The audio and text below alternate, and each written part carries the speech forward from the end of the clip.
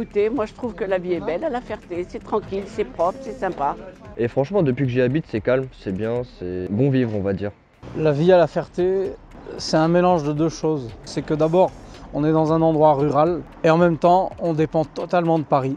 Le cadre est très agréable et puis euh, et j'ai tout, tout découvert à pied, euh, j'ai pris mes points de repère, c'était un, un- un vrai plaisir. Un cadre de vie euh, où on n'a pas à se plaindre avec la Marne. C'est une vie agréable, propre, voilà. Moi, je suis amoureux de ma ville. Je suis né à la Ferté-sous-Jouarre. Je suis un Fertois pur souche et j'aime ma ville. Moi je m'y sens très bien. À La Ferté, c'est une ville un peu à taille humaine, donc ça veut dire qu'on a vite fait de connaître, des- de connaître du monde, mais pour autant, il y a tout ce qu'il faut en termes de commerce et d'activité. Je ne voudrais vivre nulle part ailleurs, je, je suis tranquille, je suis bien. Et il fait bon vivre à la Ferté-Sous-Jouarre. La diversité des commerces, le bien-être euh, du parc.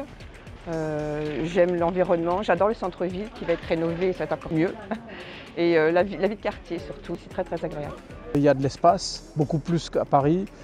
Euh, vous n'êtes pas encerclé d'immeubles, il y a beaucoup moins de béton, beaucoup plus de végétation. Vous avez de la chlorophylle, de la végétation au pas de la porte. quoi. On n'est pas loin des grandes villes comme Reims, euh, Coulommiers, Meaux, Paris. L'aéroport aussi, quand on va voyager ou recevoir du monde de l'étranger, je trouve qu'on est bien situé. On a une culture de, de fromage, par exemple, qui n'est pas forcément propre à la ville, mais qui est propre à la région. En termes de brie, par exemple, il y a des choses assez sympas à déguster par ici.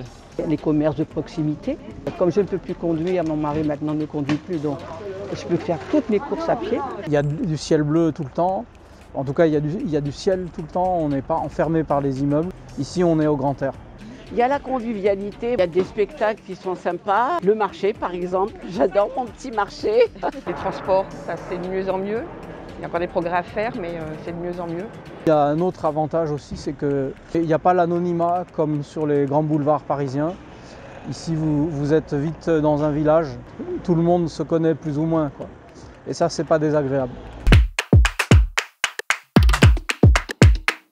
Quelqu'un qui vit dans la ville de la Ferté, c'est un Fertois. Être fertois, bah, c'est habiter dans une ville à laquelle je suis relativement attaché, puisque ça fait plus de 30 ans que j'habite ici maintenant.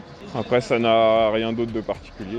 Et j'imagine que les gens qui sont nés à la Ferté, ils n'ont pas besoin de, de se documenter. Ils ont déjà ça en eux. hein. C'est sûr qu'ils ont le, le bonheur pour eux de vivre dans une ville qui a vraiment un cachet euh, certain. Ah ben, c'est un art de ville. J'adore ma ville. Je m'investis pour ma ville depuis très longtemps. Être fertois, c'est euh, manger local, vivre local, respecter euh, l'environnement euh, et prendre les plaisirs que la ville nous offre. Donc on est, on est des citadins, des urbains. et qui s'adapte bien et qui se plaît bien, qui euh, voilà. J'ai pas vraiment ma définition encore, parce que faut peut-être euh, que j'y vive encore quelques années, je pense.